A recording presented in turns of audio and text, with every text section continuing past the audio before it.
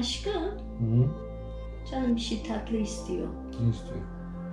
Hmm, mesela meyveli kek, Hangi biri? erik gibi böyle. olur. Değil mi? Wow! Harika görünüyor. Afiyet olsun. Çok lezzetli. Süpersin ya.